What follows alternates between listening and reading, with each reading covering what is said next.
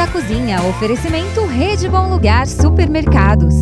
A receita de hoje é macarrão com tilápia ao molho branco. Anote os ingredientes: 500 gramas de filé de tilápia, suco de um limão Tahiti, suco de um limão siciliano, raspas de um limão siciliano, 250 gramas de macarrão tipo talharim, uma cebola picada, um dente de alho picado, uma pitada de pimenta do reino, uma pitada de sal, 500 ml de molho branco pronto.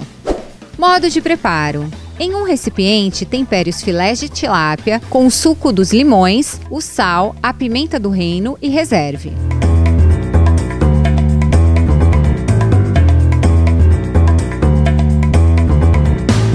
Em uma frigideira, refogue a cebola, o alho e as raspas do limão siciliano.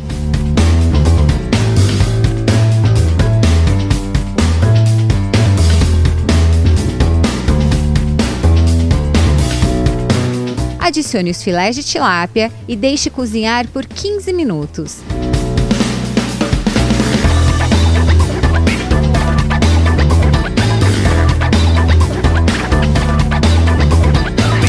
Adicione o molho branco e deixe encorpar.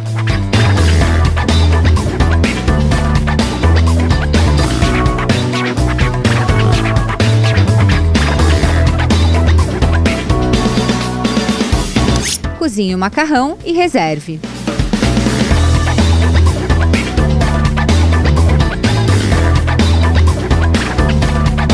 Pronto, agora é só montar o prato e se deliciar.